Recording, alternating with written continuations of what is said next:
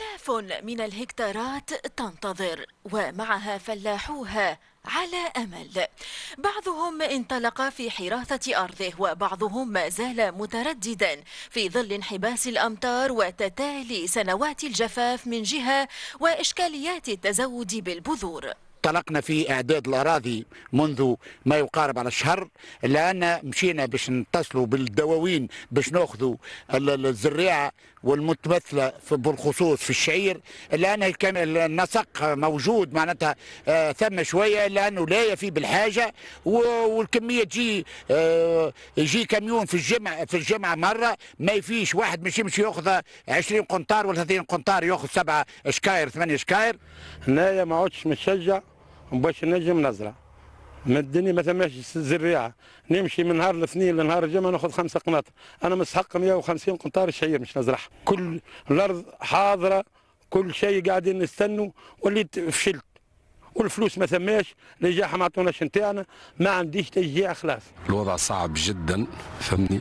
والفلاحة معناها متخوفة بالنسبة للعام الفلاحي معناها السنة معناها أمر يبعث على الحيرة ما ناش عارفين معناها شنو الحل معناها بالضبط. وتشهد مراكز التزويد بالبذور التي يزودها ديوان الحبوب اكتظاظا رغم توفر البذور وهو ما يتطلب تزود المجمعين والمزودين من ديوان الحبوب حسب رئيس الاتحاد الجهوي للفلاحة بالكاف.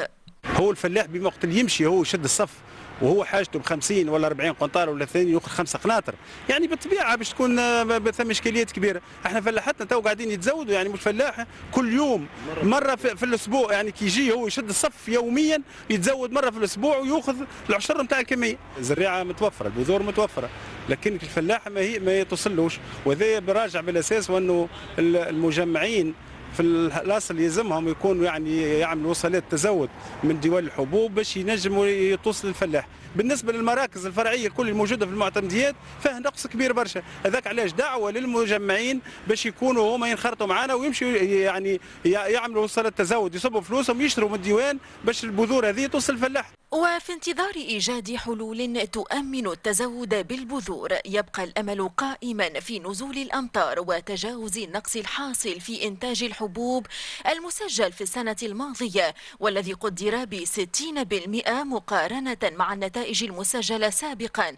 في وقت يبلغ فيه استهلاك تونس من الحبوب 3.4 مليون طن سنويا.